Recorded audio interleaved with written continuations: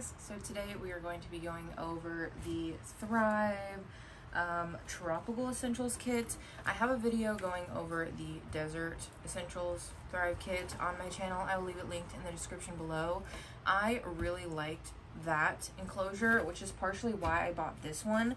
Um, I wanted a 24 by 24, or sorry, 18 by 18 by 24 enclosure that I could put in the living room and I love these enclosures because they have the hard mesh tops. So I'm hoping this one does too. Um, like I said my last one, my local PetSmart is like 40 minutes away. So I couldn't like go there and check it out. I ordered it online um, and I went down and picked it up before close after my shift at work. So yeah, let's jump into this. It was wrapped in a little more um, like plastic and stuff, but I took it off so it would be a little easier. Um, so it says, create unique world for tropical reptiles and amphibians, ideal for geckos, chameleons, anoles, tropical snakes, amphibians, and long-tailed geckos. So as long as this is going to work for what I think, I'm actually going to do a bioactive build for my Japanese cave gecko and have it as a display animal in my living room. Um, so this kit includes a 30 gallon vertical glass terrarium with open front door, mesh screen lid 60 watt daytime blue heat bulb. Um, I've been told that blue heat bulb actually shows up as clear so I'm gonna have to check that out uh, to make sure because if it does I can use it. If it shows up blue I'm not gonna use it but um, also a 13 watt tropical UVB bulb that will be good. Two 5 or 5.5 dome lamps a thermo thermometer and hygrometer combo, a brick of compressed cocoa fiber, tropical cling background, twisted leafy vine, suction cup food, and water dish. On Thrive or on PetSmart's website, this enclosure goes for $179. Um, I thought that was a pretty good deal because if you get an Exo Terra or a Zoo Med, it's about that much just for the enclosure. So this comes with a bunch of extra stuff um, which I figured I would be able to use. So without further ado, let me get this thing out and pull the stuff out and we'll kind of go over what's in it, um, the enclosure, and all of that jazz. Okay, there's a train outside, but it's been going by for like literally 10 minutes. Uh, so I'm gonna just start talking. If it honks its horn again, I'll stop, but uh, so let's go over the lid first. This is one of my favorite things about Thrive is it's a really thick metal uh, mesh on top. So like if a cat jumps up there or something, it's not going to bend and like pop out. It's really, really thick. Um, and it's completely like screw, uh, screwed into the back, which I really like. It's not awesome at absorbing UVB and letting UVB pass. So if you're putting an animal in there that needs UVB, I would not do that. Um, but my Japanese cave gecko does not need UVB, and I think this will be awesome. And it's an extra safety precaution to um, put him out here. Um, like I've said many times before, my cats usually don't bother any of my other animals, but they do have a bad habit of liking to sit on the lid. So this is just in case. Um, the Thrive enclosure comes with these two little um, pop-out things so you can feed cords through if you want to. And it also comes with this big twist-off thing. So I think you can twist it off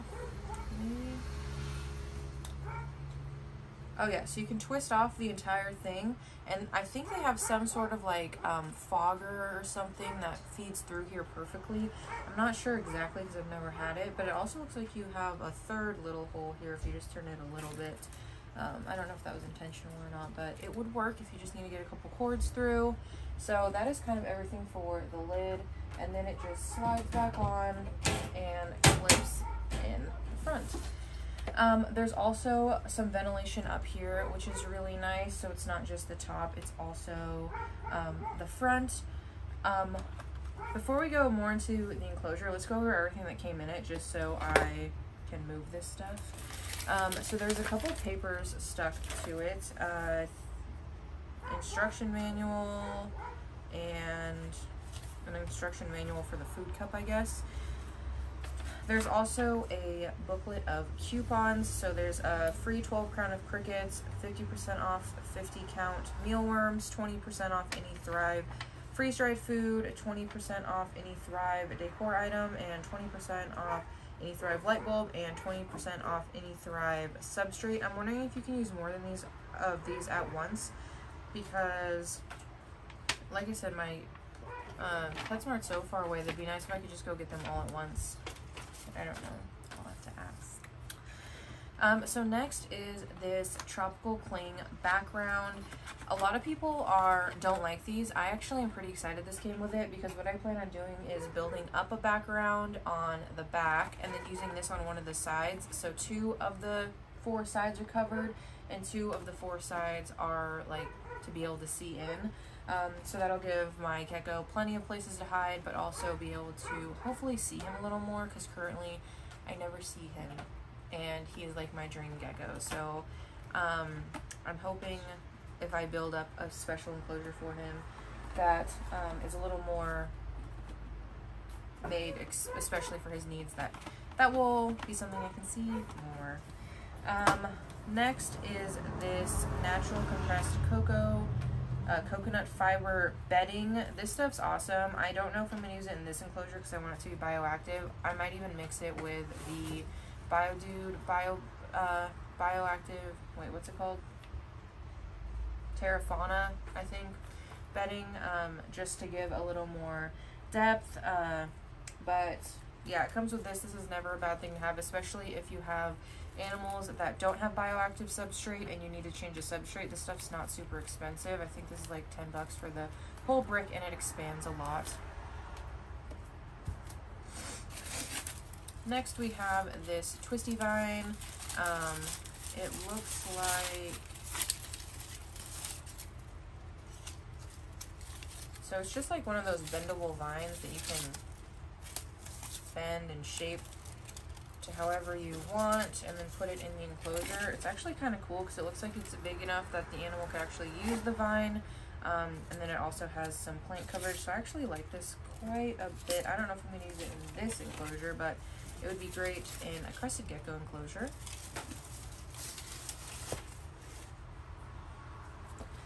Next is this stick-on thermometer and hygrometer combo.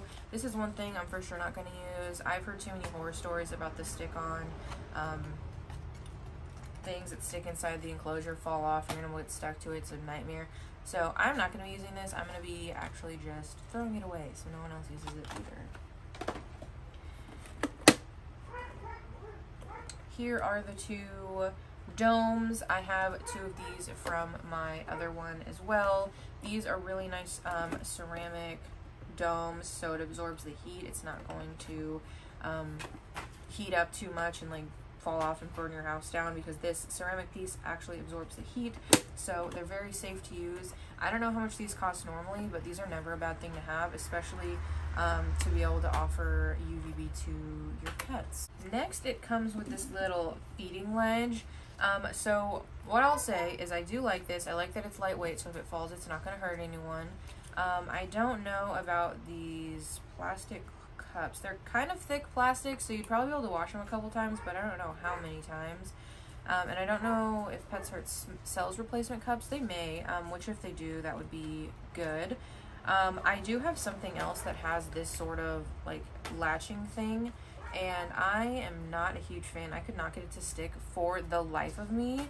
Basically what you do is you stick it to the glass and there's this little twisty thing in there that you tighten and it's supposed to suction on. However, I have never had success um, in doing so. So like what you do is you stick it on there. Like eventually mine just falls right off, which is super annoying. I, like, I don't know how tight you're supposed to make this thing for it to stay. Yeah, I don't know how to make this work. I don't like these this way to attach it. Honestly, I might even just build this into the background um, and take this whole freaking thing off and just fill this part up with sp spray foam so I can at least use it.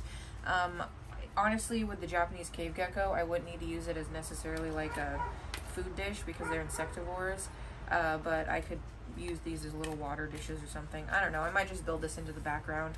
Um, and the last two things before we get into the cage is the two bulbs. So this is the daytime blue heat bulb. Um, I don't see on it anywhere specifically if it says it shines clear. I might have to just plug it in and check because yeah, I'm not exactly sure. Um, the one thing they don't provide that you will definitely need if you're going to use heat is a thermostat. Um, I usually get plant thermostats off of Amazon. I will try to link the one that I usually get in the description below. It's about $18. It's a lot less expensive than the ones at the pet store and it works really good. I have like 12 of them or something crazy. And then a 13 UVB um, bulb, which is always good to have. They fit in those great. Um, and these need to be changed every six months. Um, so I'm pretty sure, yeah, every six months. So this is never a bad thing to have, even if I'm not going to use it with this enclosure. I have other enclosures that have the same bulb, so that's something I don't have to buy now. Now let's jump into the actual enclosure itself. So let me get this tape off. The one thing I did notice, and that's kind of, is I don't know if I like how this door locks. It looks like it only locks up here. Yeah, which I don't like a lot. I do like that it has a ginormous front opening door, really easy to access your animal. It's to be it's to be super easy to build the background. Um, I'll probably do a video of me building this, so if you want to see that, definitely subscribe and stay tuned. Um, but it's just a basic 18 by 18 by 24. It has a nice deep bottom down here, which is going to be awesome for making it bioactive. Um, so yeah, this door is a little bit, a little bit weird. I'm worried worried that if an animal really wanted to, they might be able to push this open from the inside, not the outside, but um, how hard it is to push open. So it's not super easy. I might make some sort of DIY like magnet clip or something just to hold it down at the bottom as well, uh, just to be safe. Um, that is something I'm concerned about. I don't know why they made it only latch at the top. Even the other one that has like the pull latch at the bottom clicks in at the top. So, I don't know. Um, but that being the only downside, and I think it would be a pretty easy fix to just put a couple magnets and like some sort of latch going across.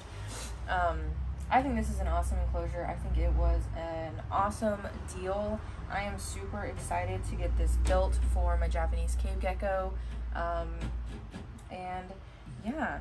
I hope that was informative. If you had any other questions or if I missed something, definitely let me know in the comments.